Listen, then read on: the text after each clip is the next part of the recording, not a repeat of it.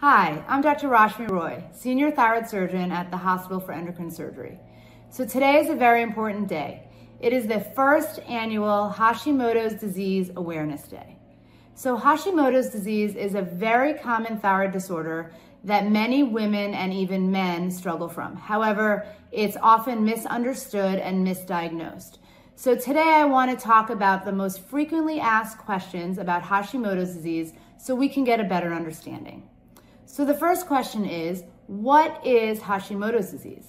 So Hashimoto's disease is an autoimmune disease where essentially your immune system or your body attacks your thyroid gland and produces something called thyroid antibodies.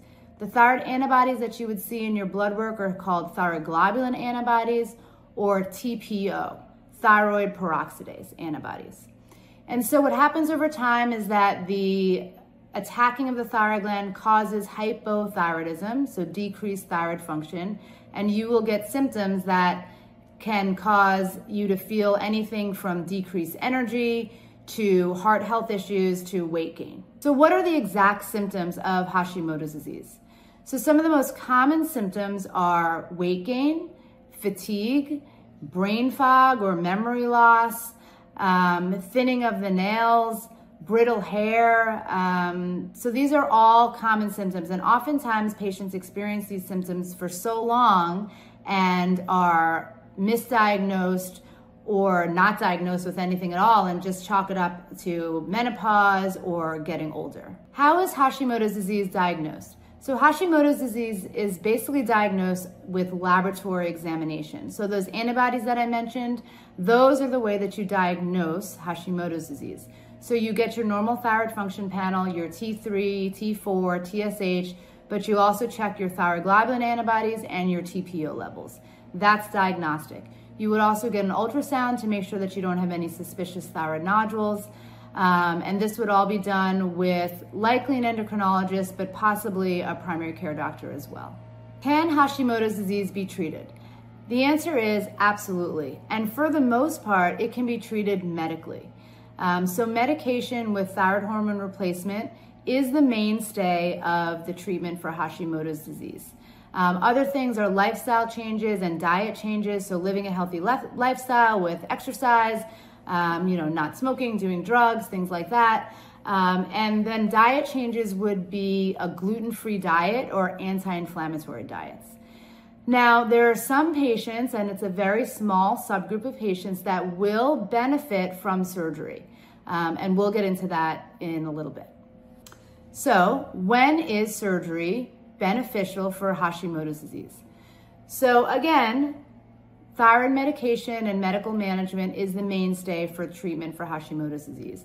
For patients that fail medical management, meaning they have tried every single medication out there, combination therapy, Armour therapy, different, um, all different types, and their symptoms don't resolve and they're really struggling with the Hashimoto's, those patients are, are um, definitely a candidate for thyroid surgery and they benefit from thyroid surgery.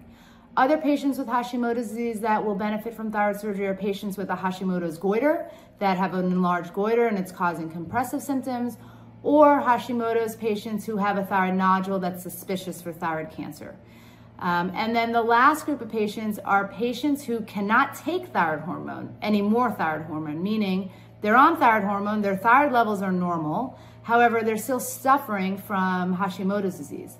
So those patients will also benefit from thyroid surgery. Does diet affect Hashimoto's disease? And the answer is yes. Um, a healthy diet, you know, a healthy a combination of proteins, fats, carbohydrates, um, but most importantly, a gluten-free diet or an anti-inflammatory diet and really avoiding sugar and processed foods. So those are all the things that you could change in your diet to help with your Hashimoto's symptoms.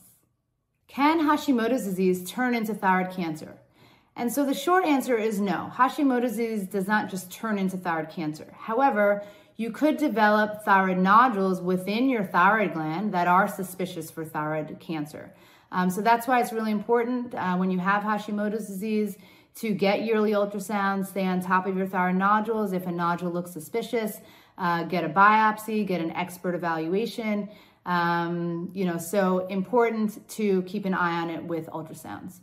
So, you know, if you have Hashimoto's disease, if you feel like you're a surgical candidate after listening to this video, um, then you can reach out to us at thyroidcancer.com for an expert evaluation and an expert uh, surgery if it's if it's needed. Hashimoto's can feel overwhelming, but just know that you're not alone. Millions of people have it.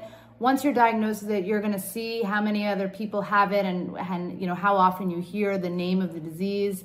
Um, if you feel overwhelmed, if you want to share your story, uh, then you know post about it and then put hashtag Hashimoto's Awareness Day and tag us. If you want to see more information about Hashimoto's disease, then you can visit us at thyroidcancer.com.